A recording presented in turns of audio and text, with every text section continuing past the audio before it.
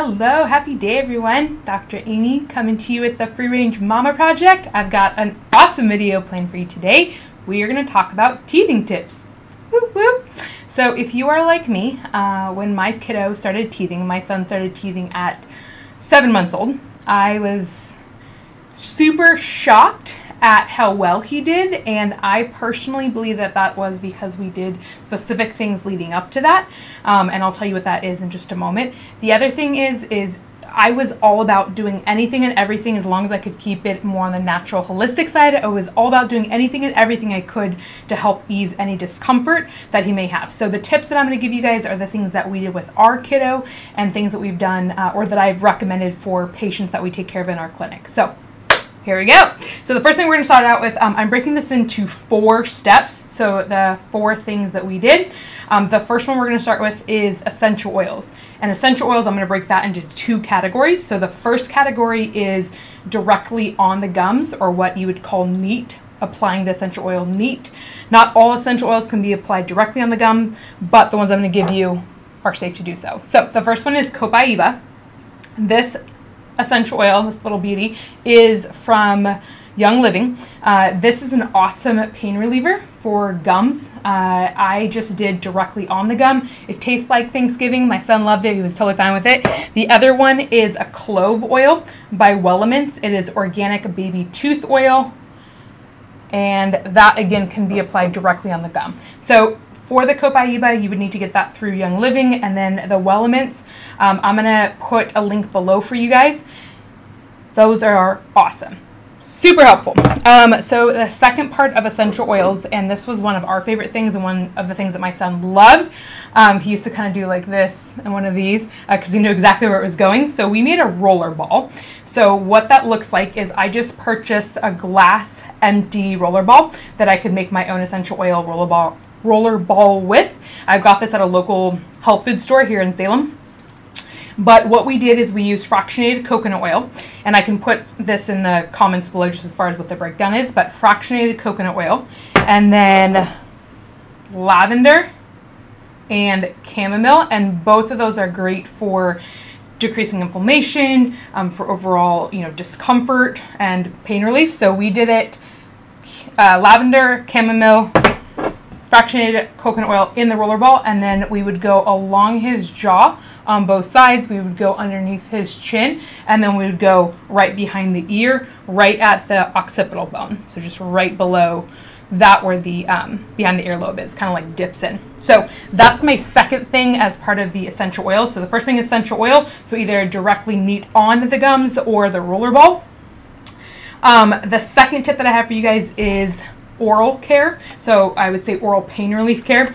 I personally chose not to do Tylenol. I was not comfortable doing Tylenol just from studies that I had seen for uh, kiddo as young as my son was. So we did everything we could do more on the natural route. Again, trying to relieve any discomfort, but staying on the natural side. So the two things that I found that were super helpful and that he totally dug were the first one was the Baby Hyland's Oral Pain Release. So they're just little dissolvable tablets. You can put them right on the tongue. You can put them underneath the tongue. Um, they're homeopathy, so that made a big difference. And then the second thing, and we actually came across these when my kiddo had a tongue tie revision. We used it as pain relief as we had to do those stinking stretches. If you've had to do that, you know what I'm talking about when I say stinking stretches. So um, this is, uh, the company is B-O-I-R-O, R-O-N, B-O-I-R-O-N, and it's um, Camilia Homeopathic homeopathy, homeopathic medicine, and it is benzocaine and preservative free. It also comes in these really awesome individual tubes so that you can take these, throw these in the diaper bag, you can have it in your car, you can have it in the nursery. So it makes it super easy to have it in multiple places without losing things um, or having them, you know, grow legs and walk away. So I got this at the natural food store. Um, I'm going to put a link for this below too to help you guys out. But these two things were what we used for just overall pain relief in place of a Tylenol. So my third thing for you, third thing for you guys um, is what we would call our frozen pops. And when I say a frozen pop, it's not what it sounds like. Um, it is these bad boys. And we actually used to have six of them, but my um, son loved them so much that he would take them on walks and Well, you know, they're probably at the park somewhere. So um, these are BPA free and silicone. So essentially what we did is we just put these in a little baggie in the freezer and then we would pull one out. He could gnaw on it. And then when, you know, it was not frozen anymore, we could grab another one. And I liked having all six of them so that he could use them at his discretion. But these were a life changer, game changer when he was actually like breaking that tooth.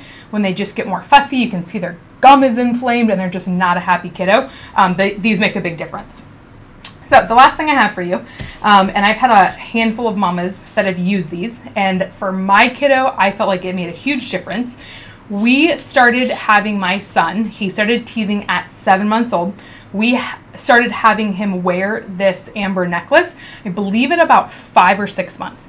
And I did that because I wanted him to get used to it.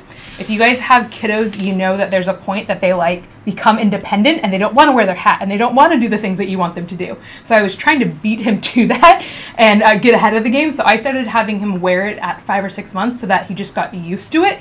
And I believe it made a huge difference. And I say that because when he did bust that first tooth, it was the bottom middle I don't remember if it was right or left, but when he did, it was one of those things that I was playing with him and tickling him, and I saw him laugh, and I was like, oh my gosh, there's a tooth there. And it wasn't one of those situations where like, you're miserable, you must be teething. So I believe that it made a big difference kind of leading into that. The, um, the other thing, so I'm going to show you, is this is the one that we have. Um, I would recommend when you're getting an amber necklace, there's different ones that you can find online. Different shops carry them couple things to look for. One, I know that you can't do this actually in the store, but if you purchase one and then try this and you can return it, um, amber should float in water. Real amber should float in water. Um, it should be different shaped stones and you'll feel the difference between amber and fake or plastic. So I would highly recommend being cautious of that. I will tell you for my son specifically, we, you know, with summer, we would, he started teething in July, so we would take it on, take it off uh, just you know because he had this like ridiculous little like ball tan around his neck.